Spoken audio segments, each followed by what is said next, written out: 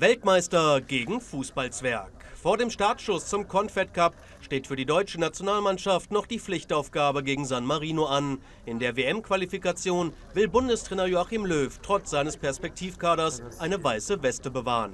Bei allem Respekt für San Marino, morgen geht es ja einzig und allein darum, wie wir die Sache angehen und nicht wie San Marino spielt. Alles andere als ein deutlicher Sieg am Samstagabend gegen die Nummer 204 der Weltrangliste wäre tatsächlich eine böse Überraschung. Im Hinspiel gewann Löws 11 mit 8 zu 0. Vor über zehn Jahren feierte Deutschland beim 13 zu 0 den zweithöchsten Sieg seiner Geschichte. Richtig ernst wird es für die deutschen Weltmeister wohl erst wieder ab dem 19. Juni. Dann steht das Auftaktspiel bei der Mini-WM gegen Australien an.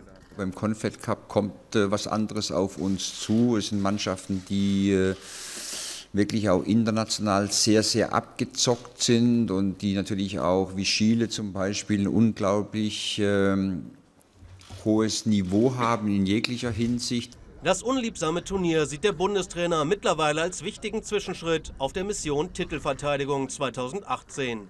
Gegen San Marino kann sich der neu zusammengestellte Kader aber erst einmal warm schießen.